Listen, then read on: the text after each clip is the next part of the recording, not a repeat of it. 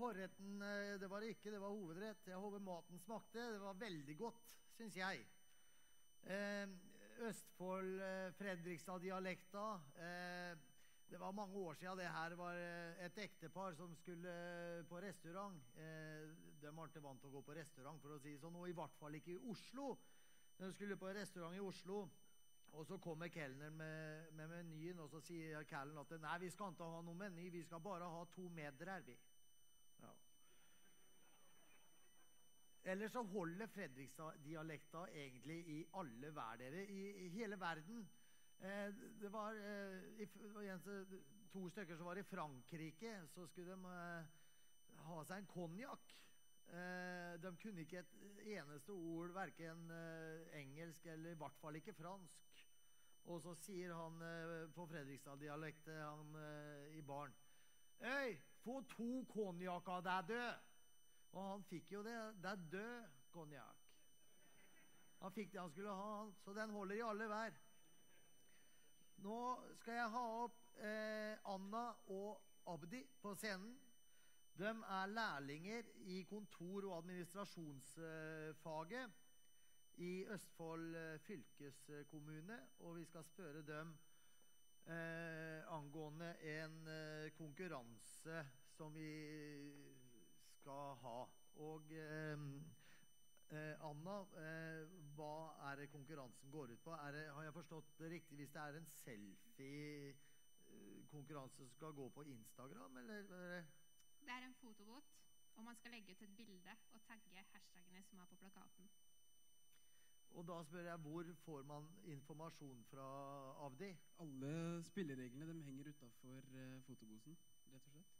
Så, Altså i gangen? Uh, I gangen. Ja. Og der står det kjøreregler, Yes. rett og slett. Spilleregler. Spilleregler. eh, ja, oppfordrer du alle til å, til å være med? Ja, det kåres en premie, eller en vinner, for Er- mest kreative bilde. Bra premie, eller? Ja. Så det lønner seg å være med dere. Ja. Tusen takk, Abdi og, og Anna.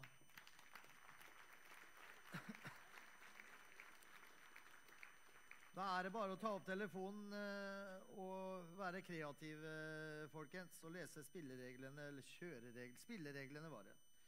Og hive seg på. Eh, I og med at det er en ganske stor forskjell i alder her eh, i kveld, så eh, har vi variert eh, underholdningsprogram. Og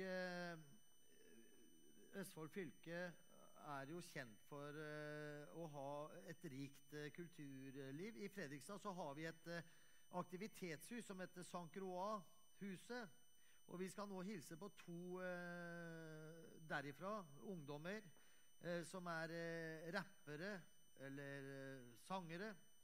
Og ta vel imot Silje Andersen og Charlotte Faller.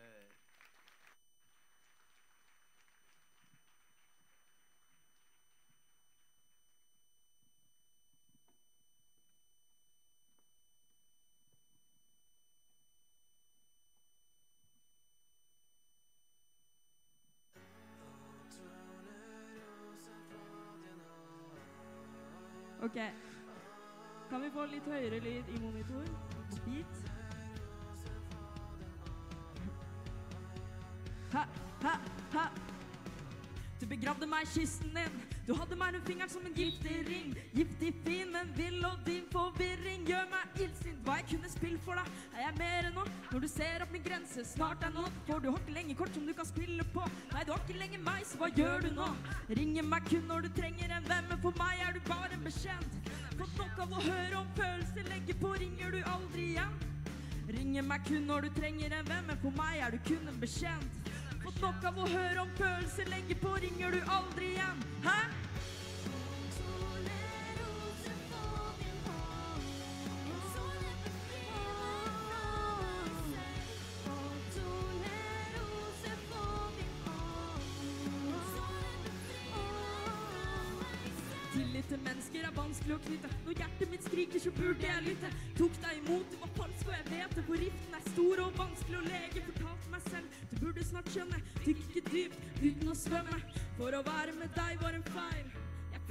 Meg og jeg er en pokal til de skap. Er det rart at jeg var som en mor eller far som tok av som en part som var blomst i et hav av rus som ble svar på spørsmålet ditt mellom riktig og galt. Jeg hadde nok, men satt alltid der først. Holdt meg våken selv om jeg var trøtt. Hev meg på bussen når du så rødt, og nå kunne jeg ønske du aldri ble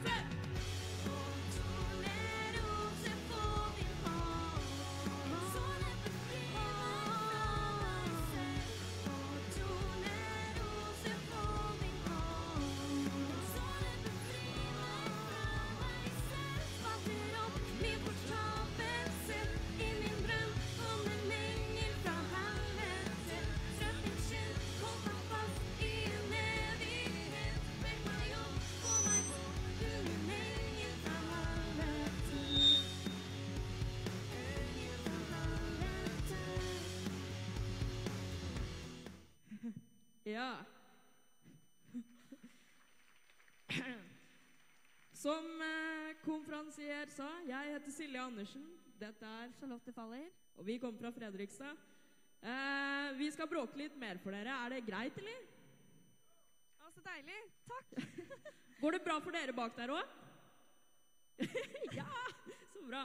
Eh, vi skal ta et par låter som handler om eh, hvordan mennesker i forskjellige sinnstilstander kan oppføre seg mot andre mennesker. Jeg tror låtene eh, snakker litt bedre for seg sjøl, så jeg tror vi bare kjører. Ja. Let's go. Men da må jeg spørre Er det noen ute i salen her som er glad i penger? Ingen? Ingen? Wow. wow. Fordi den låta her, den handler om eh, hva penger kan gjøre med mennesker. Og vet du hva? Vet hva det kalles? Nei. Hva kalles det? Det kalles psykopater. ja, ja, ja, ja. Svever i et univers, og under meg er jorda rund. Underverk med plaster på, for mennesker har ikke sunn fornuft. Giftig luft, vannet fylt med stoffer. Er vi kloke, eller vasser vi i tanker som ha? Lenka fast til Facebook, videoer om drap. Ser de hver dag, og det har blitt normalt. Er jeg gal? For at jeg synes det er rart at en hel nasjon setter frem et våpen og Og dyra som vi dreper etter maten, blir vi mette, men kaster de som fortsatt kunne leve, er det rett? Ta liv for føde, men blod blir drap. Da de vi skulle ete, ikke engang ble mat. Vi feller trær, sprenger fjell for å tjene spenn. Noen selger mennesker for at de skal tjene dem. Rart vi ikke haiker lenger. Psykopater lever og gjør hva som helst for penger. Ja, ja, ja, psykopater lever og gjør hva som helst for penger. Ha, ha. Psykopater lever og gjør hva som helst for penger. Penger. Charlotte, Ja, er du glad i penger, eller?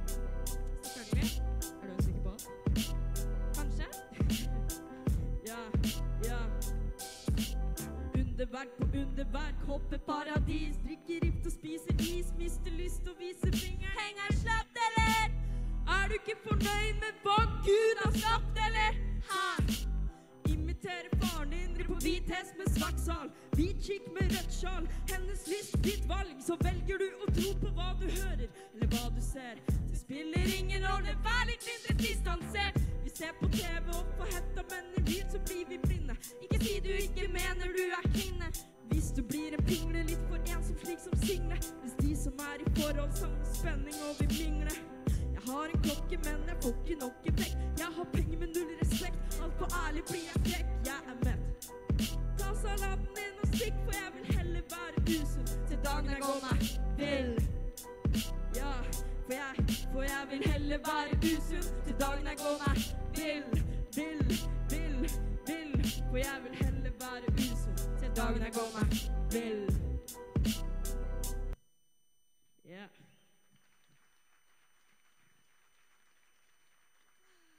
Da er vi halvveis alt, og vi skal ikke gi oss med sånne psyko-temaer. Går det bra, eller? Dere er ikke skremt bort ennå? Vi er ikke så skumle, egentlig. Vi bare ser sånn ut, kanskje. Du ser ikke skummel ut. Jeg ser skummel ut. Jeg hørte det på bakrommet i stad. Det var noen som ba Å, Silje, du ser skummel ut. Wow. Du betalte den sikkert. Er dere enige i at jeg ser skummel ut? Ok, det var, kleint. Det var sånn 400 som var Hun der er ikke skummel. OK, vi bare kjører videre. Yes.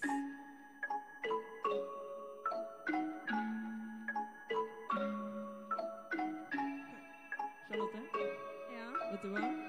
Nei. Ok. Bitt av en farlig dame, gale flamme, vanlig vane. Jeg har fått sånne chicas, men var fruen ned i vannet. Ble hypnotisert, krystall og stjerneskudd. Med vann til knærne ble jeg løftet, og jeg freaker ut. I en verden der jeg føler som sjalusi. Legger på mine knær og sikler. Men du går forbi med truffet midt i brystet. Men dette er ikke Amors jeg fanga for hennes lyst og sorger. Vil aldri slippes fri, hun rører meg når jeg er nede, sårer meg når jeg er oppe. Vinker meg til side, får ikke hvile. Hun vil aldri savne, kysse meg og fylle meg med glede jeg kan. For for meg er denne hverdagen normal.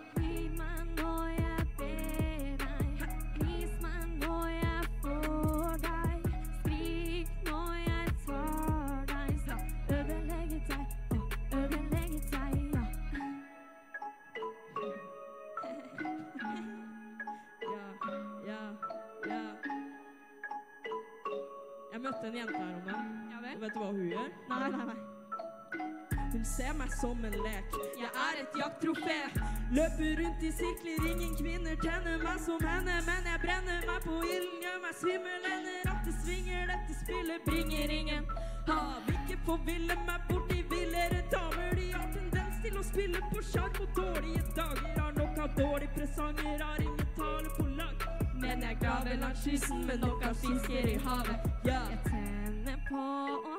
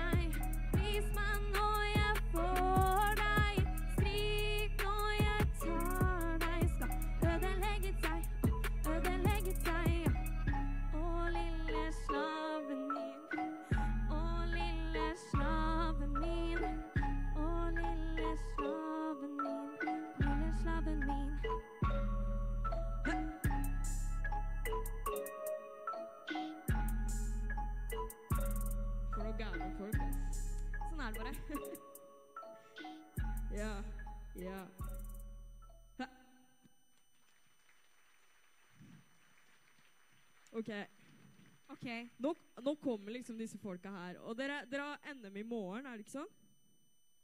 Lykke til! Og jeg tror kanskje vi ikke skal prøve å skremme de bort mer, så vi kjører siste låta vår. Og den er veldig søt. Du skal alltid snakke om søte ting. Ja, men jeg er søt. Vi får ikke noe skummelt rykte når du sier sånn. Ok, Men hvis dere vil følge oss, eh, så følg Silje Andersen på Facebook, eh, Instagram, Spotify, eh, der du streamer musikk. Det er veldig kult at vi fikk lov å komme i dag. Og igjen lykke til i morgen. Masse lykke til. Ja. Så da avslutter vi med siste låt, 'Innrømmelsen'. Søt låt. Hvor fikk du det fra? Ja, ja. Ja, tekster er mye, du tekster meg lite. Du vet at jeg vet at du sliter. Og du vet at jeg hater å vente på svar mens jeg later som at jeg er lykkelig og glad. Tankebanen blir endeløs. Lurer på om jeg ikke hadde sett deg før. At ting ville vært det samme. Du er som bensin, jeg som en flamme. Lykketallet mellom en og uendelig. Hjelper ikke være sen eller vennlig. Vennligst ikke ring meg en kveld. For opptatt med å Trøste meg selv og Tanken er lekende, at det finnes mange, men du er den eneste som forstår og kan se hva jeg er. Et monster, en tikkende bombe. Meg sjæl har gått runde med meg sjæl. Er både svimmel og kvalm. Like hjelpeløs med gråtende barn. Og jeg klarer ikke lenger sette ord på det jeg føler. Prøver å være cool, men ender opp med at jeg brøler. Angsten har tatt kvelertak, kan ikke si jeg nedfor. Største løgnen ever, men jeg kneler og har bedt så. Å kunne mestre før jeg ser meg selv som en vinner. Så håper morgendagen bringer mer enn angsten kan ta. Så den forsvinner. Kan du se nå? Kan du se meg nå? For jeg har ikke mer å gi. Her står jeg som meg sjæl. Med dritt til magen vil du dømme meg for den jeg er. Kan du se meg nå? Kan du se meg nå? Kan du se meg nå? Jeg er redd for ikke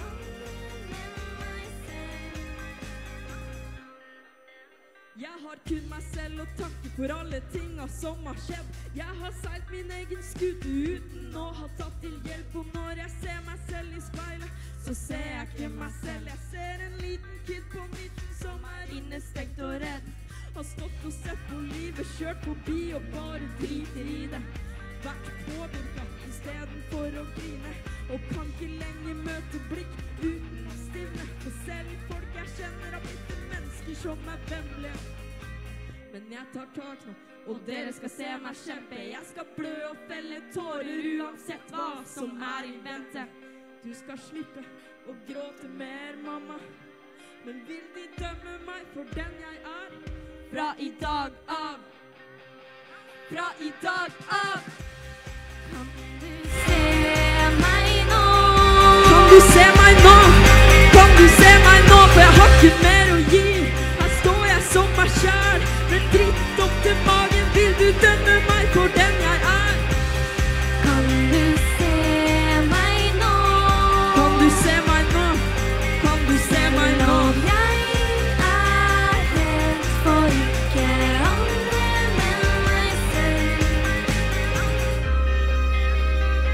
Jeg heter Silje Andersen. Charlotte er- Faller. Følg oss på Facebook, Instagram, whatever. Tusen takk for oss.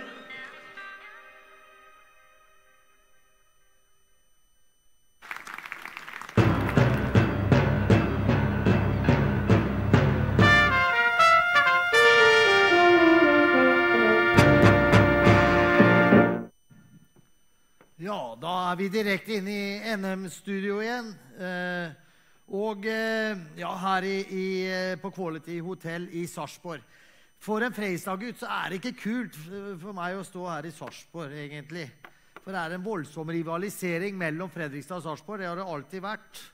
Eh, Sarpingene kaller Fredrikstad for eh, den eh, andre byen, når de tenker det sjøl. Men det var en eh, ja, For mange år siden, når Fredrikstad fotballklubb var oppe og virkelig nikka dem av, så, så var det en kamp på Sarpsborg stadion. Eh, Sarpingene skåra tre ganger eh, pause, før pause, så de leda 3-0. Og så sitter en Fredrikstad-supporter ved siden av han, og så sier han Sarpingen han syns sikkert litt synd på han Fredrikstad-supporteren. Og så sier han Sarpingen at eh, ja, ja, i dag vinner vi. Neste gang, eller neste år, så kan det være dere som vinner.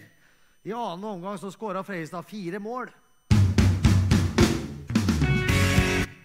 Der var det ikke vitsen slutt, egentlig, ennå. Dæven, tenkte jeg. Den var fin. Mm.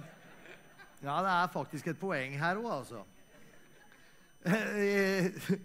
I, annen omgang så skåra Fredrikstad fotballklubb fire mål. Og, Dommeren dommer blåste av. Fredrikstad hadde vunnet 4-3, og da sier han Fredrikstad-karen og reiser opp til Sarpingen. Ja, i helvete, det er ille fort tida går her i Sarp, er du. Ja. Vi skal ha opp eh, anleggsgartnerne våre, som skal konkurrere eh, så flisene fyker og stenene spruter i morgen. Og det er, er vi klare? Bare kom og siv på her. Det er Ole Kristian Langvik fra Kalnes videregående skole i Østfold. Birk Fjellbo Berg fra Kalnes i Østfold. Henrik Strømsjorde fra Lene skråstrek Valle i Oppland. Maren Andresen Det er bare å komme opp etter hvert, eh, gutter og jenter. Maren Andresen Røstastuen Røstadstuen fra Lena Valle videregående i Oppland. Johanne Kallager fra Gjennestad videregående skole i Vestfold. Og Arne Hag Hangerhagen, også fra Gjennestad i Vestfold. Eh, en stor applaus til deltakerne i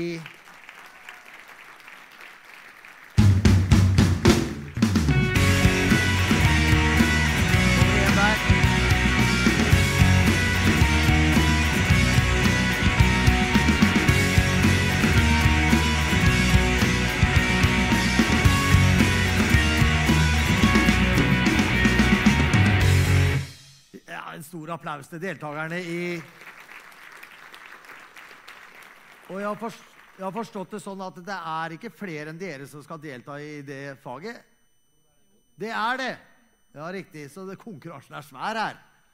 Eh, du heter Johanne. Johanne.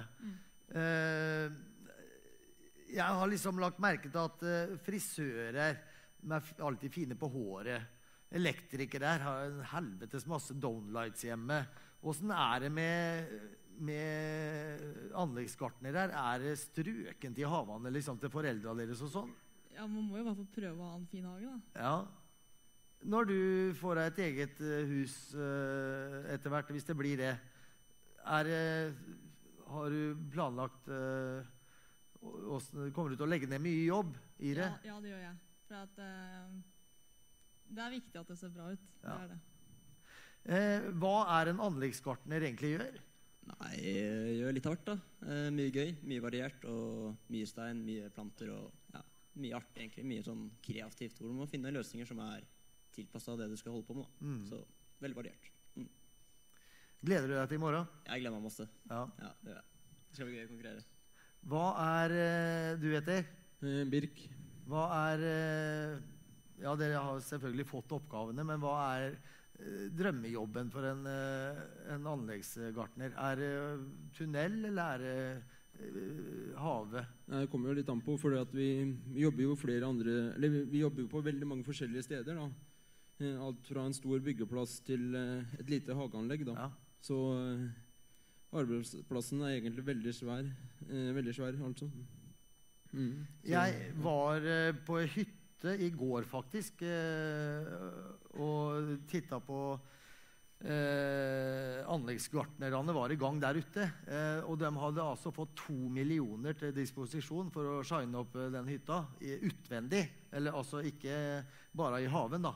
Og de skulle legge sten for én million. Er det eh, brosten? Er det en drømmejobb? Nei, det Ik ikke, ikke for meg. Det er Eh. drømmejobben for deg? liksom, Drømmeoppdraget, da? Nei, Det blir jo noen planter og noe plenlegging. da. Ja, Det er vel mitt største, mitt største område. da. ja vel. Stenlegging er grått og kjedelig. Er det det? Og Men det må til det òg, liksom, for, for en anleggsgartner. Må kunne det. må kunne å legge sten og kappe sten og Ja. ha hodet kaldt når du driver med sten og, og plantingen. At alt skal bli Det er planter og blomster du brenner for, egentlig. Ja. Hva er det du heter, sa du? Jeg heter Ole Kristian. Ole Kristian eh, Langvik. Ja, Langvik. Det er nye blomster, eh, Ole Kristian, eh, dere. Blomsterfinn er på vei ut nå med Hessdal og hele Grennesøya. Eh, har du øva godt? Ja, veldig. Eh, føler du deg klar til i morgen? Ja, jeg gjør det. du, du må jo ha Du må jo ha noen knep for å slå de andre her. Og det er jo ikke bare dem her heller, for det er flere anleggsgartnere her. Har du noen spesielle knep for å stikke av med seieren her? Jeg har jo alltid noe på lager, da. Ja. Ja. Eller er det viktigste for deg å delta? Nei, altså det viktigste er jo å delta, så klart. Ja. Å få være med på det er jo moro. ja. Kom i dag, skal hjem i morgen. Ja. Spennende. Ja, veldig spennende. Lykke til. Takk skal du ha. Og her har vi Maren, Maren. Så fin du var. tusen takk. Ja. Pynta deg.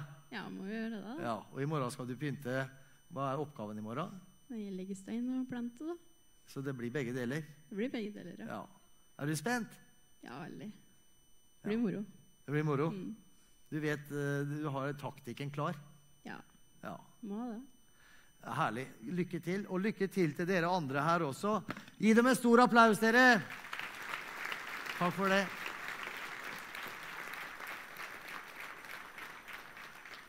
Da skal eh, vi spise eh, dessert. Og så er det bare å nyte den, så får vi mer underholdning fra scenen her etterpå. Og det ser ut som vi holder tida, så vi bør være ferdig klokka ni. Det er en svær fotballkamp, og så må dere slappe av, da, selvfølgelig. Vel bekomme!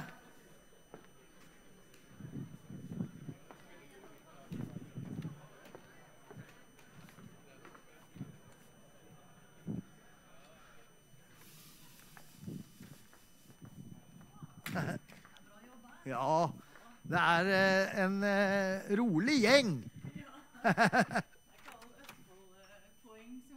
Nei, nei, nei.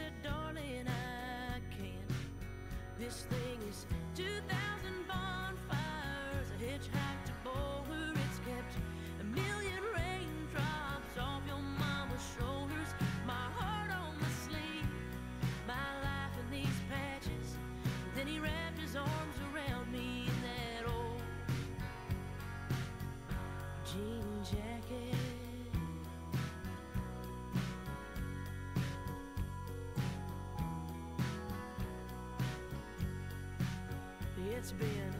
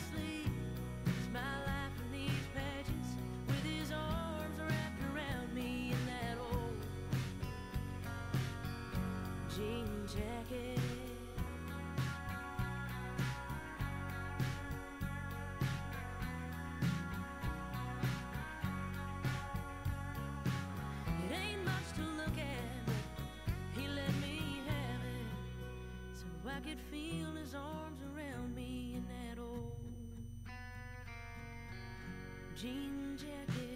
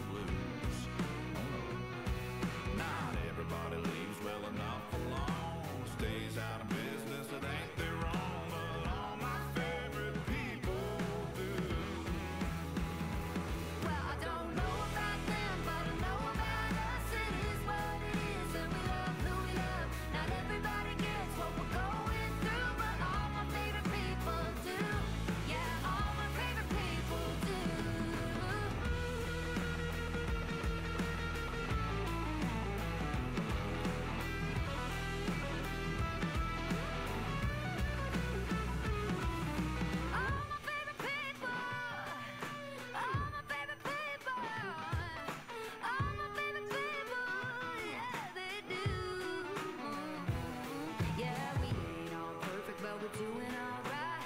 Everybody's worried about trying to get by, but all my favorite people.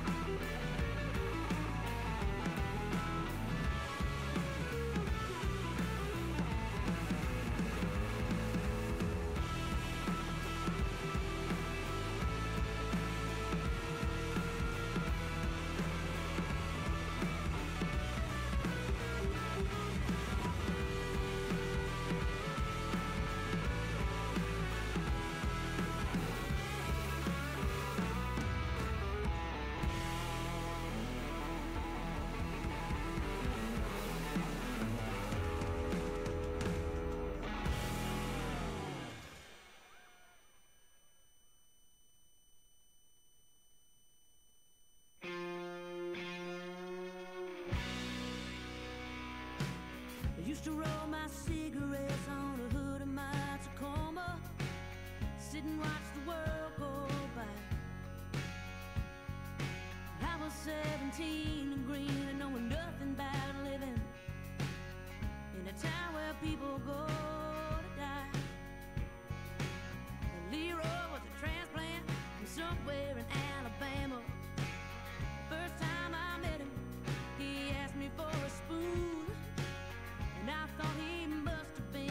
bluegrass band or something.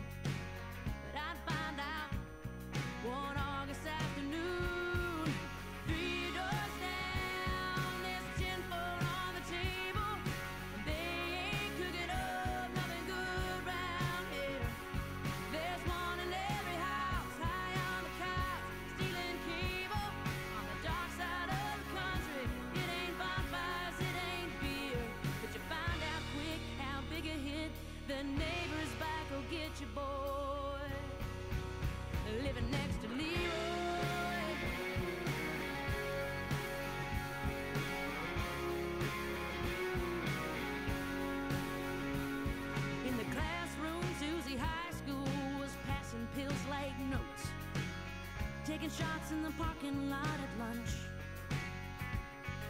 And I join in every now and then, cause you can't beat the cool crowd.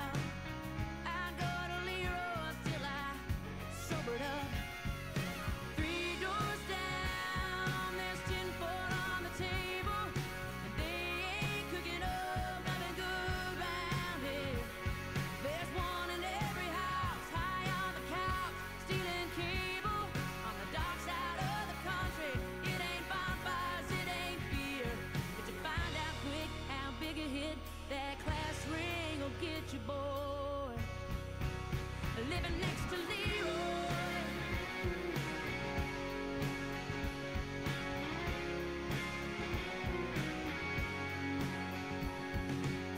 I to jail on the day I got my diploma. I knew Leroy would be proud. I can't forget shaking him, trying to wake him on that sofa. He never did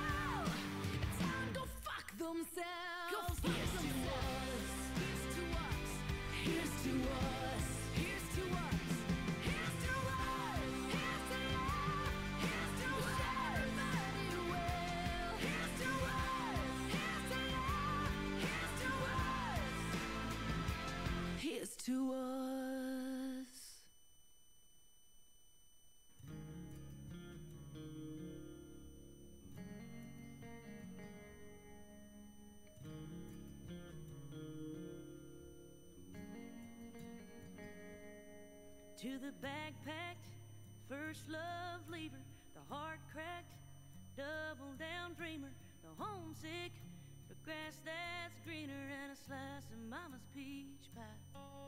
To the flat broke, couch cushion, gas money, the worker bee that ain't getting no honey, missing someone all the while running, gunning for the brighter lights.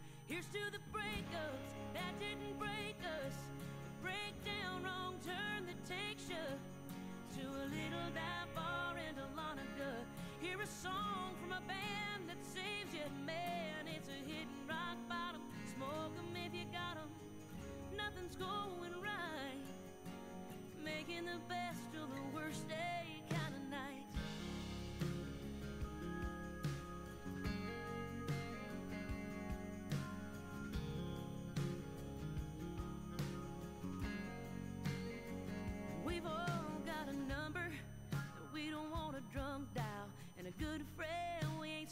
a while, and a slow dance left in these boots, and a chance at putting down new roots. Here's to the breakups that didn't break us, the breakdown wrong turn that takes you to a little dive bar in Dahlonega. Hear a song from a band that saves you, babe.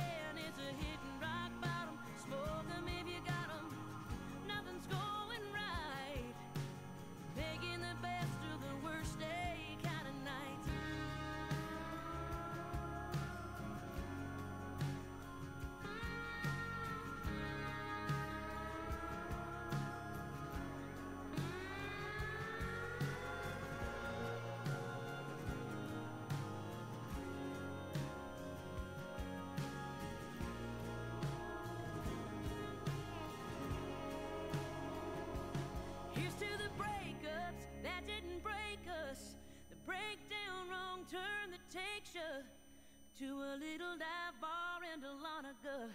Meet a girl outside Atlanta. Band when it's hit rock bottom. Smoke 'em if you got 'em. Nothing's going right. You're just singing along with your drink raised. Pretty little blonde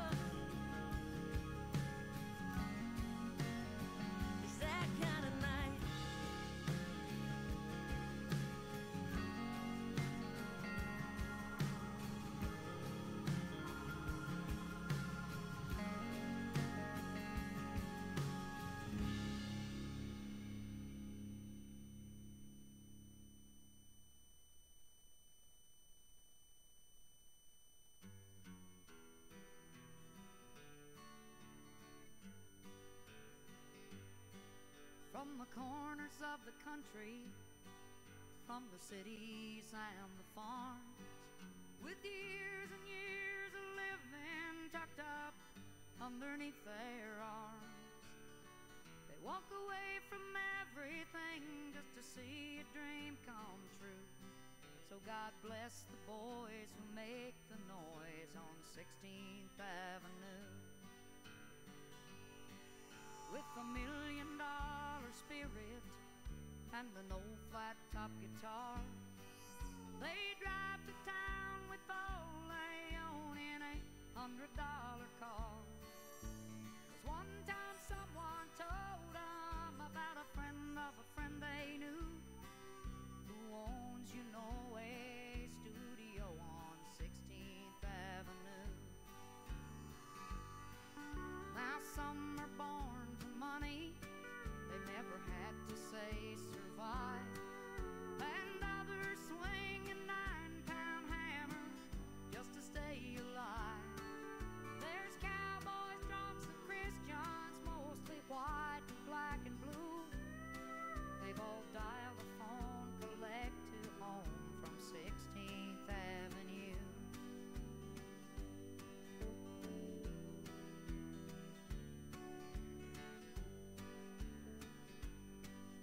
Oh, but then one night in some empty room where no curtains ever hung, like a miracle, some golden words rolled off of someone's tongue. And after years of being nothing, they're all looking right at you.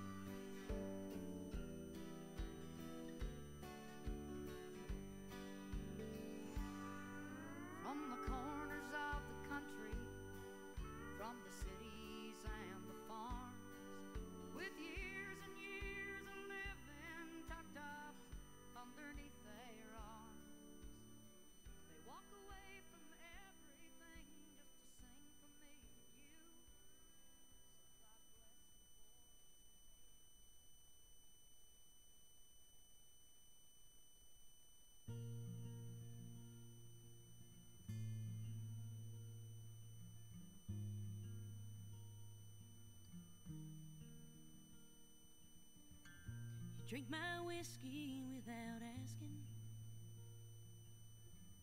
You put your boots up on my couch. It drives me crazy to remind you more than once to take the garbage out.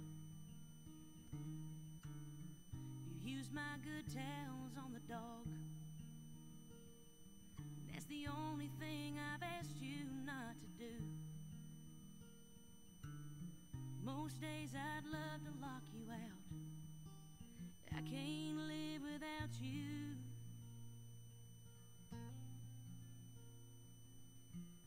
The kitchen table ain't for business. Wish you'd put the bills where they go. I guess you'd need an invitation to the backyard see that it needs mowed. You leave your whiskers in the sink. And I've told you till I'm black and blue. You're never worried what our neighbors think. I can't live without you. Cause you've got my back. Even when I'm wrong, you're the only one who knows me, and my heart can't get along. I got reasons to cry, can't tell you which one. But you don't ask no questions, you just hold me till I'm done. And when I'm looking to fight, you flat refuse. I can't live without you.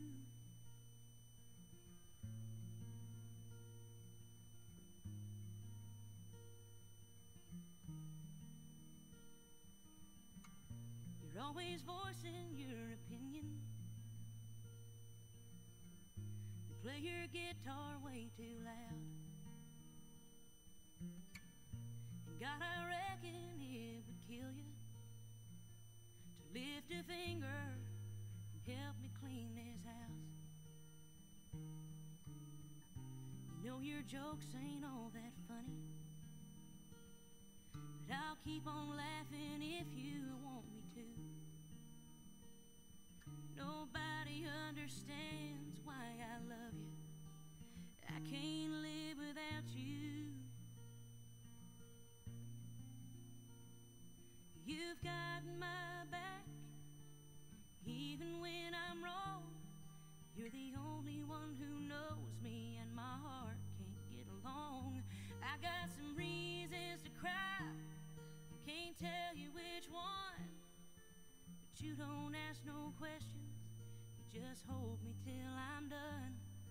And when I'm looking to fight, you flat refuse. I can't live without you. I can't live without you.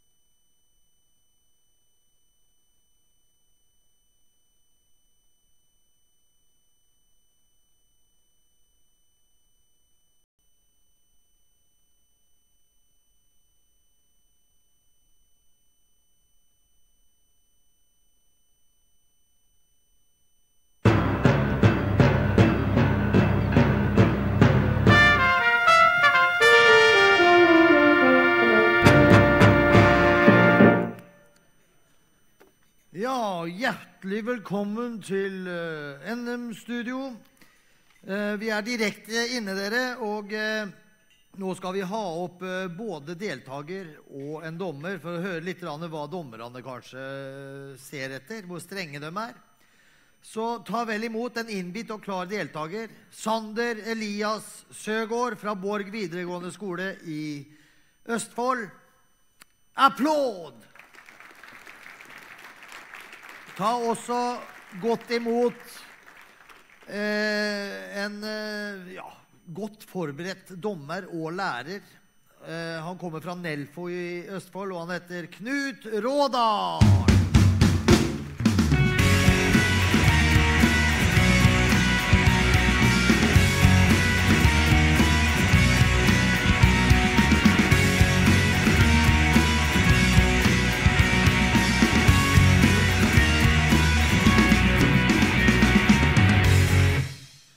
Her kommer de inn som strømmen på Hvaler-sida, i kledder. Nå er de på plass. Eh, de er sikkert ute og tar noen bilder eller rigger seg til på det, det, det bildekonkurransen i morgen, tenker jeg. Sander, eh, hva skal du delta i i morgen? Jeg skal delta i Norges, Norgesmesterskap i automatisering. I Automatisering. automatisering, hva er det? Nei, det, er, det er ganske mye, det. Det går ut på mye elektro, mekanisk og Eller hovedsakelig så er det vel eh, måling og regulering nå. Ja. Mm, mye fabrikk og sånt. Mye fabrikk. Nå har ikke jeg peiling, også, men er det svakstrøm eller er det sterkstrøm, eller? Nei, Anlegget er jo stort sett en blanding av begge to. Ja. Du har jo signaler, og så har du styring av motorer, f.eks. Det er jo sterk strøm. Nettopp. Mm. Føler deg klar? Jeg er klar.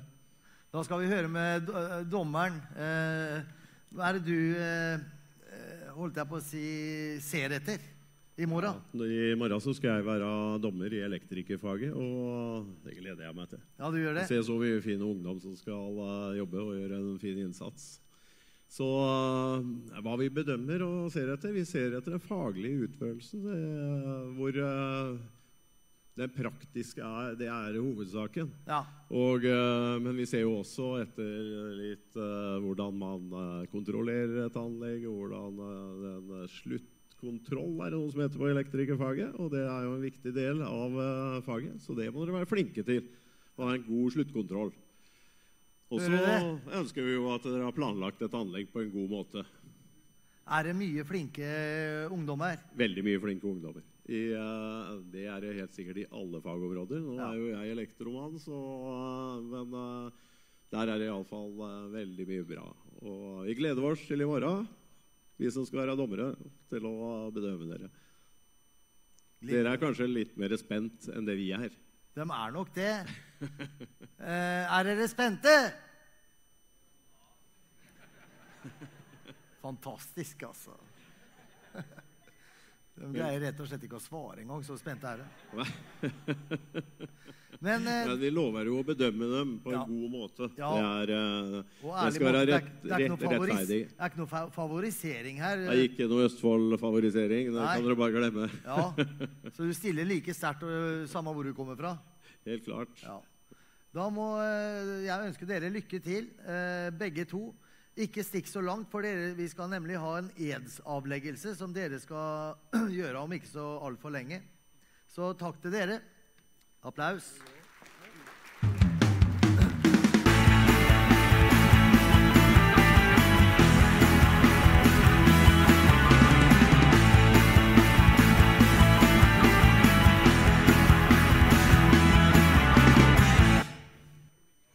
Da flytta vi litt på bolene her, for nå skal det bli fart.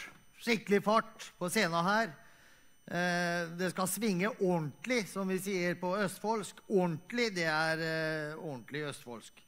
Og de som skal svinge for vårs Det er litt for dem eh, litt eldre. Det er ikke bare VG2-elever som kommer til å digge dette. De eldre i salen også kommer til å like det her. Eh, og de som skal svinge for vårs, heter Dag, Aina, Christer og Silje! Vær så god!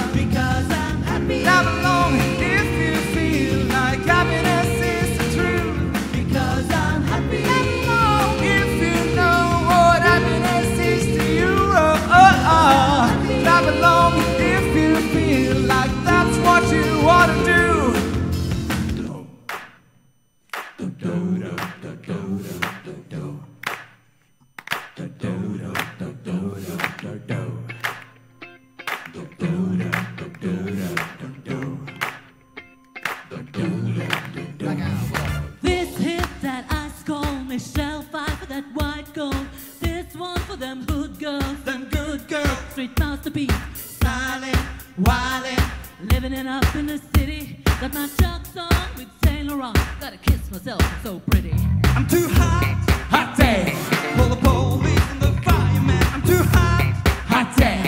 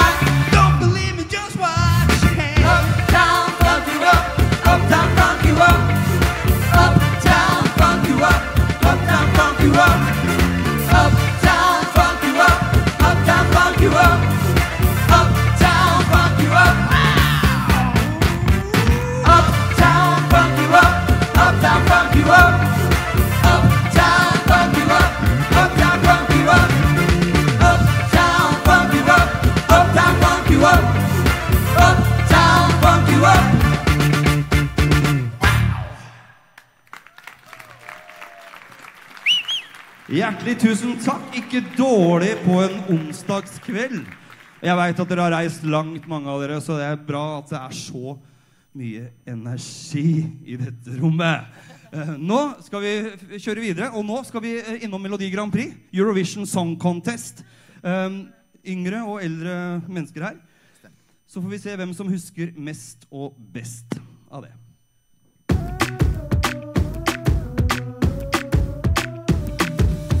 I went everywhere for you.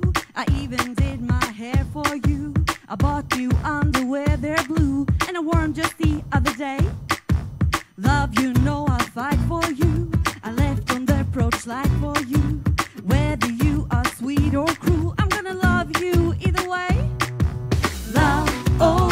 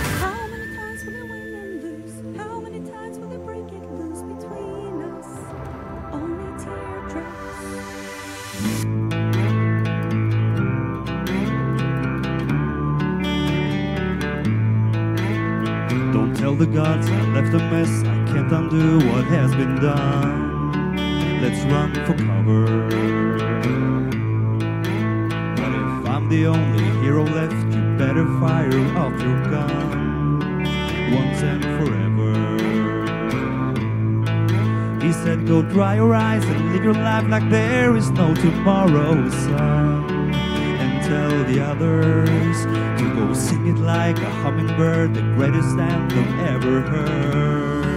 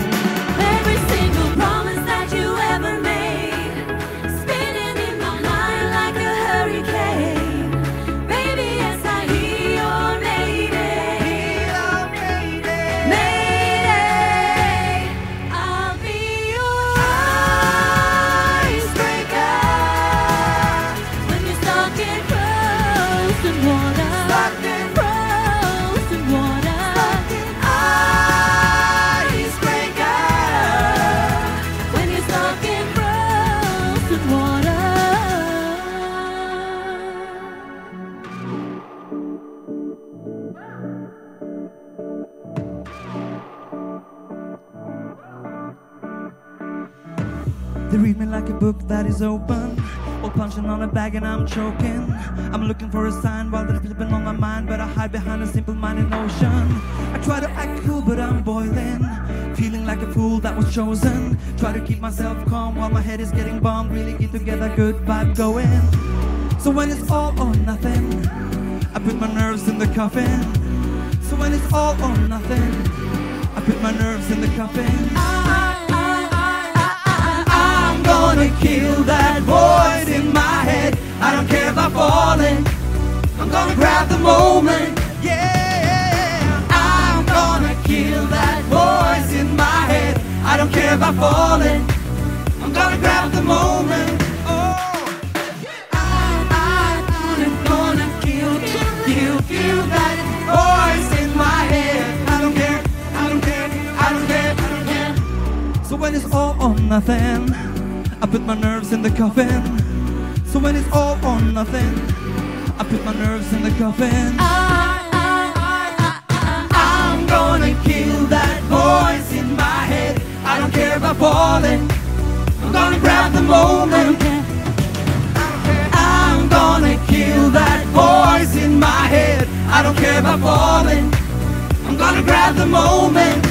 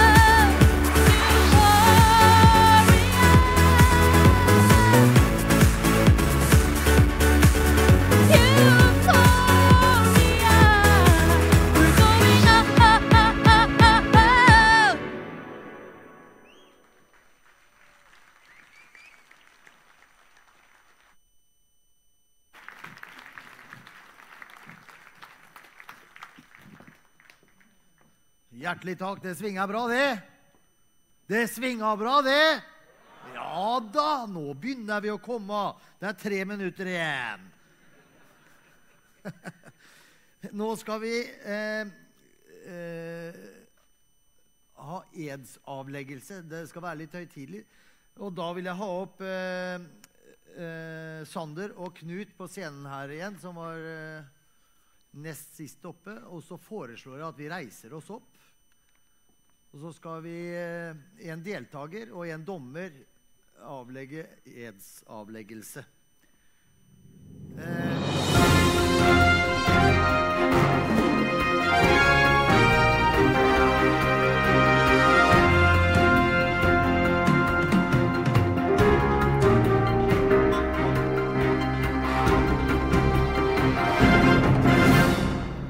Så da begynner vi med Knut. Da legger vi altså hånda på hjertet, og så leser Knut dommerens edsavleggelse.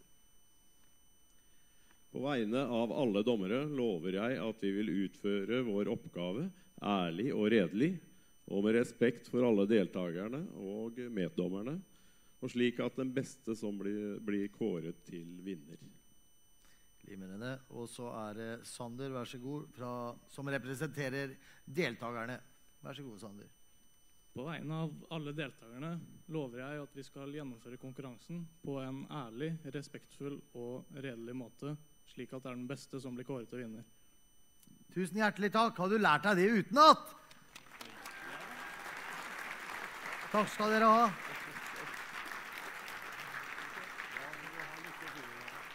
Lykke til i morgen, sier de her.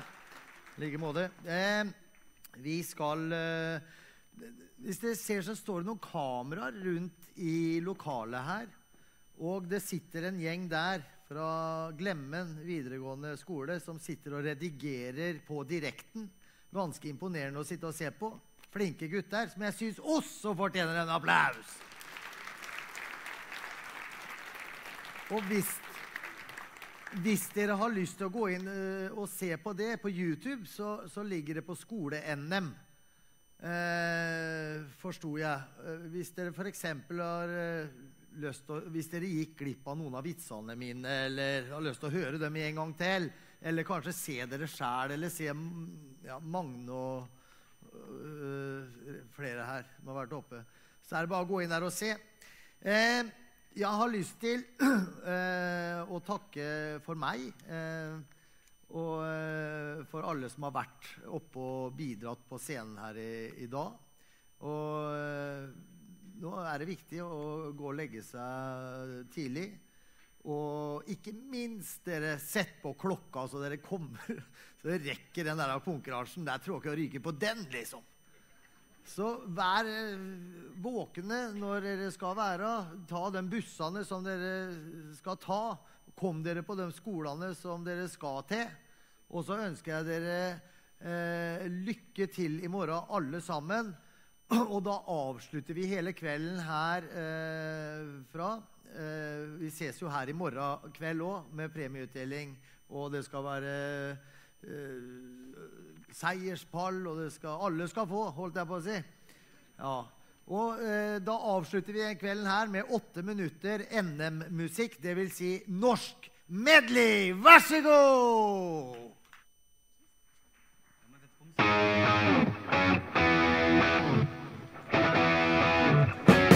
Ok, er det norsktoppen som gjelder, folkens? Nå er det snart slutt her, så nå kan vi få opp stemninga. Så bli med nå. Dans på bordet og sånn. Jeg hører telefonen. Snubler i